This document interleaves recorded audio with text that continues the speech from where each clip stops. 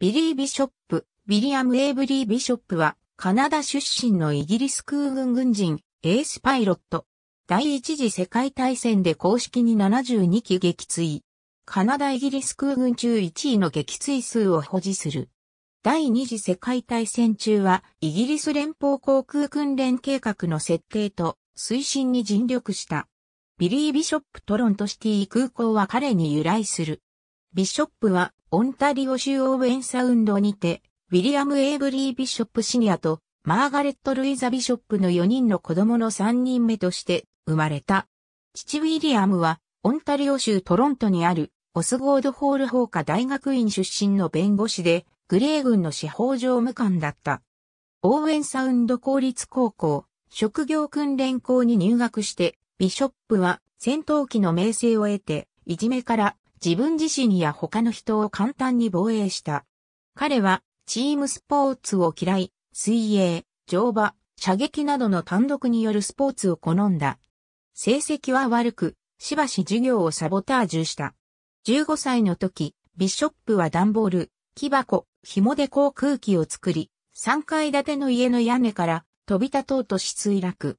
姉妹によって残骸から掘り出されたが、無傷だった。1911年、オンタリオ州キングストンにあるカナダ王立士官学校に入学。ビショップの兄ワースも1903年度卒業生である。在学中、ビショップはビッシュあるいはビルと呼ばれていた。士官学校でもあまり真面目な生徒ではなかったようで、初年度は留年、2年目では真面目に取り組んだものの、3年目ではカンニングが発覚している。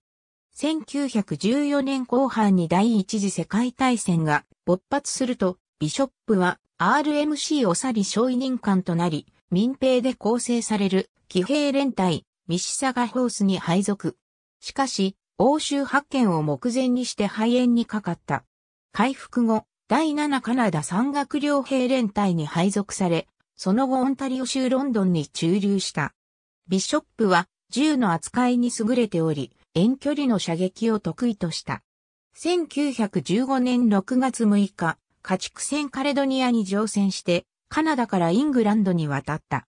6月21日、アイルランド沖にて船団が U ボートの攻撃を受けて2隻が沈没、カナダ軍将兵300人が犠牲となったが、幸いビショップの船は無傷で、6月23日にプリマス港に到着し、西部前線へと向かった。カナダ王立軍事大学在学時のビショップ・ビショップは泥を被るばかりで進展のない残壕戦にすぐに嫌気がさした。1915年7月、A 航空隊の飛行機が任務から戻ってきたのを見た後、ビショップはそっちは綺麗でいいなぁ泥やマグソまみれになることもないし、戦死してもせめて綺麗なまま死ねるだろうしさ。とぼやいたという。フランスにいた同年、彼は王立航空隊に転属し、英国へと戻る。飛行学校にパイロットのために利用できる場所がなかったので、彼は観測手に志願した。9月1日、ネザーエーボン飛行場の第21航空隊にて、初等航空指導を受ける。最初に訓練した航空機はアブロ504で、操縦者はロジャーネビル注意だった。ビショップは空中写真を撮るのが得意で、すぐに観測撮影の訓練担当になった。航空隊は1916年1月にフランスに派遣され、サントメールのボアダン M 飛行場に駐留した。使用機は RE7 偵察機である。ビショップの最初の戦闘任務はイギリス軍の砲兵部隊の着弾観測だった。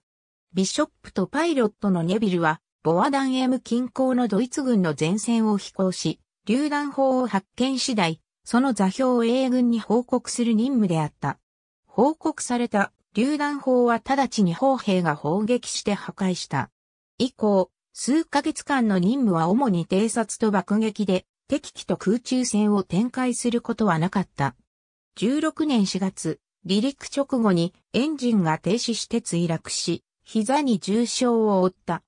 16年5月にロンドンを出発している間に怪我は悪化し、ビショップはブライアンストン広場の病院に入院した。そこにいる間、彼はウィンストン・チャーチルとヒュー・セシル空軍長官とも友人だった社交界のレディ・セントヘリアと親しくなる。レディ・セントヘリアはビショップがカナダで回復するよう取り計らった。ビショップは1916年9月にイングランドに戻ると、セントヘリアの影響でパイロットとなることを志願。ウィルトシャー州はソールズベリー平原のアップエイボンにあるセントラルフライングスクールのパイロットとして訓練した。彼の最初の単独飛行はモーリス・ファルマンのショートホーンで行われた。ビショップとニューポール17戦闘機、フランスのファイルスキャンプで訓練終了後の1916年11月、ビショップはエセックス州サットン農場駐屯の第37飛行隊に配属される。上記は BE-2C でロンドン上空へ飛来するドイツ軍飛行船の夜間索敵を任務としたが、ビショップはこの任務を嫌い、すぐにフランスへの移動を要求した。1917年3月17日、ビショップはアラス近郊のファイルスキャンプファームに駐屯する第60航空隊に到着し、そこでニューポール17戦闘機を受領した。その当時、ドイツのエースはイギリスの航空機を5対1で囲い込み撃墜する戦術を展開しており、同隊の新米パイロットの平均寿命は11日と言われていた。3月22日、ビショップは初任務に出撃するが、それは成功とは言い難かった。彼は自分の滑走路上の航空機を操縦するのに問題があり、対空射撃でほぼ撃墜され、そして彼の両機とは分離された。3月24日、ジョン・ヒギンズ将軍の前で練習飛行中に航空機を墜落させる失態を犯し、アップエーボンの飛行学校に戻るよう命じられた。しかし、60航空隊の新司令官であるアラン・スコット少佐は、補充が到着するまで彼をとどまらせるよう遺留した。翌日、ビショップは両機3機ともにセントレジャー近郊にてアルバトロス D3 偵察機3機と交戦し1機を撃墜。これが初戦火とされる。この時撃墜したのは、プロイセン王国第5飛行中隊の撃墜数12のエースレナトゥス、テーラー注意とされるによれば、テーラーが撃墜されたのは3月24日に第70航空隊のソッピースキャメルとの交戦である。それゆえビショップの主張は基地の損失と一致しない。しかし、ビショップもエンジンが停止し、ドイツの最前線から300ヤードしか離れていない無人地帯に不時着。無人地帯を駆け抜けた後、連合軍の残壕に飛び込み、暴風雨の降りしきる地上で夜を過ごした。この時、ビショップは、この手紙は、我が軍の最前線から300ヤードの残壕にて書いています。人生最高にハラハラする冒険をしてきた後でネトの出だしで始まる手紙を家族に宛てて書いた。ヒギンズ将軍は彼の戦果と帰還を褒めたたえ、この出来事の後、飛行学校での再教育は撤回された。1917年3月30日にビショップは飛行指揮官に任命された。翌日、彼は二度目の戦果を果たす。ビショップは戦隊の同志たちとの通常の巡回に加えて、スコット少佐の恩恵を受けて、間もなく敵の占領地域に潜入する多くの非公式の一匹狼任務を行った。その結果、撃墜された敵機の総数は急増した。4月8日に彼は5回目の戦果を獲得し、エースになった。これを祝うためにビショップの整備士はエースの印として航空機の花を青く塗った。当時の大英帝国最高得点のエースであった元60航空隊メンバーのアルバート・ボール隊員は赤いスピナーを装着していた。ニューポール17に登場するビショップ・ビショップの無制限の飛行スタイルは常に変態の戦闘を飛び、両機を敵地での空戦へと導くものであった。ビショップはすぐにこれが彼が撃墜されるのを見ることができることに気づいた。ある偵察任務の後、整備士が集計した彼の蒸気の弾痕数は210個もあった。斬新な攻撃を駆使した彼の戦術は成功を収めた。彼は4月だけで12機の撃墜を申告し、ミリタリークロスを受賞、またビミー・リッチの戦いへの参加後は大尉への昇進を勝ち取った。ビショップと彼の青花の愛機の活躍はドイツ人からも認識され、彼らはビショップを地獄の乙女と呼び始めた。エルンスト・ウーデットは彼を英国最大の偵察エースと呼び、またある飛行中隊は彼の首に賞金をかけた。4月30日、レッドバロンことマンフレート・フォン・リヒトホーフェン率いる第11飛行中隊と遭遇するも機関に成功。5月、ビショップは敵4機に追われながらも別の敵機2機を撃墜したことで、こと航勲章を受賞した。1917年6月2日、ビショップは単独の任務を遂行し、前線後方にあるドイツ軍の飛行場を攻撃。そこで彼は迎撃に上がろうとしていた3機を撃墜し、さらに数機を地上撃破したと申告した。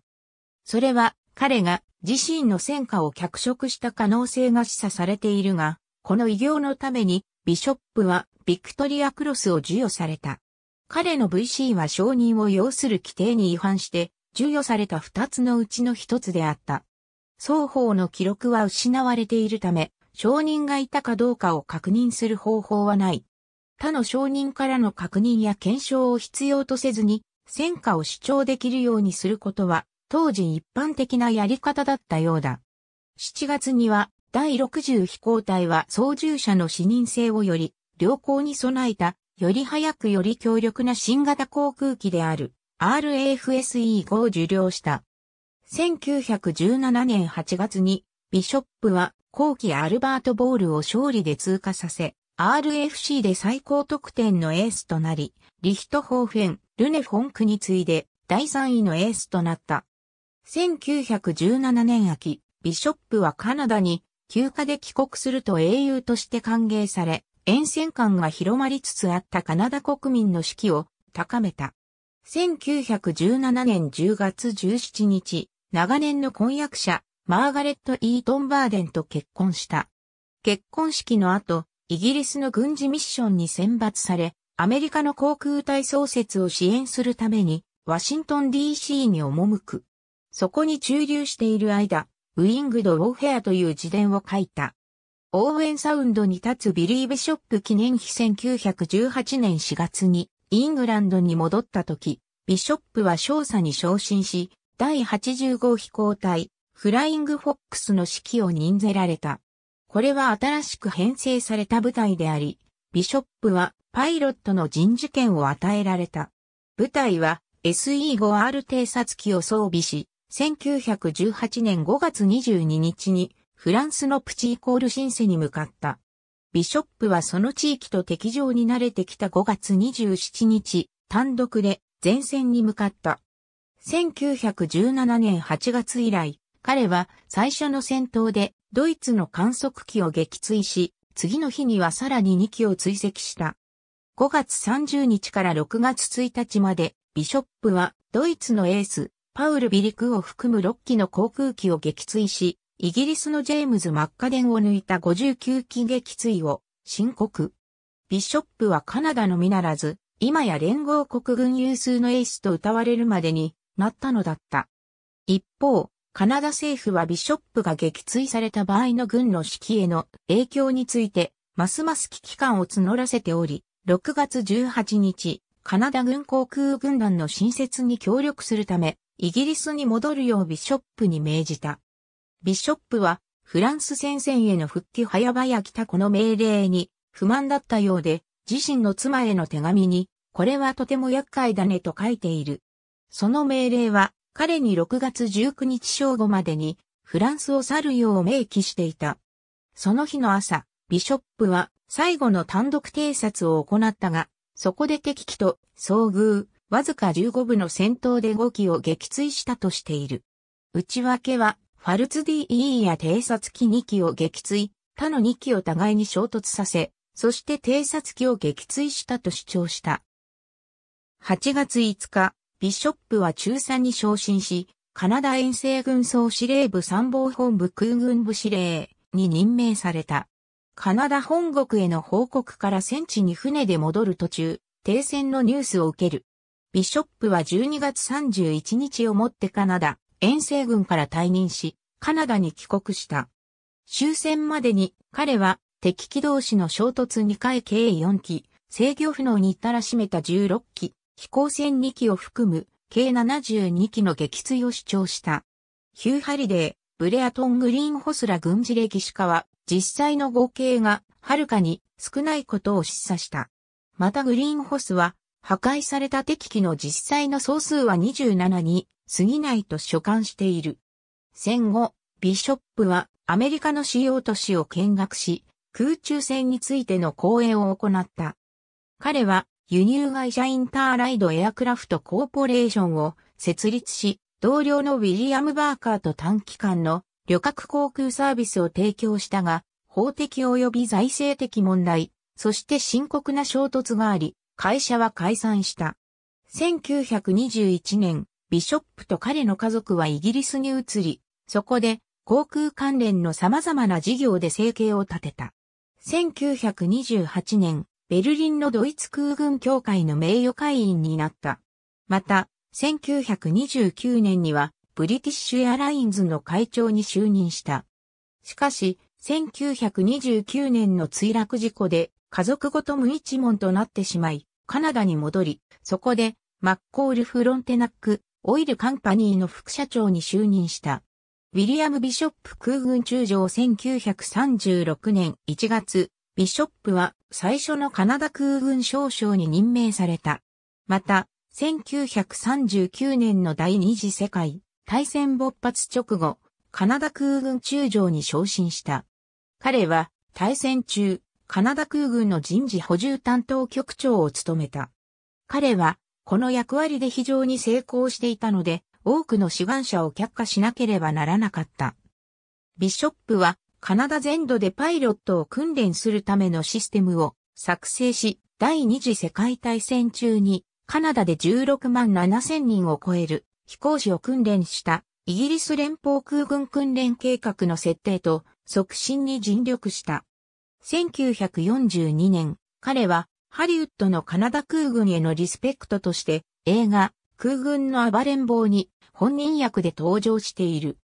1944年までに戦争のストレスはビショップの健康に深刻な悪影響を及ぼし、1952年に引退する前にカナダ空軍での職を辞任し、ケベック州モントリオールの民間企業に戻った。彼の息子は後年、1944年の50歳の誕生日の時には70歳に見えたとコメントした。しかし、ビショップは民間航空機の戦後の驚異的な成長を予測しながら航空業界で活躍し続けた。いくつかの組織を振興分野に持ち込もうとした彼の努力はモントリオールに国際民間航空機関を設立することにつながった。彼は現時点で世界規模の空軍力の国際統制を提唱している2冊目の本、ウィングドピースを書いた。朝鮮戦争が勃発すると、ビショップは再び空軍への復帰を申し出たが、すでに健康状態が悪く、空軍当局に丁重に断られた。